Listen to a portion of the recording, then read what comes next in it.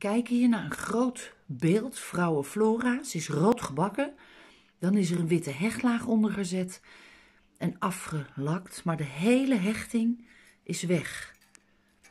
Alles zit los. Het is ook niet meer, misschien kan ik het hier laten zien, niet meer te impregneren. De hechting is gewoon weg. Dus ik denk, kijk eens wat een mooi gezichtje. Er zijn wat bladeren ook weg.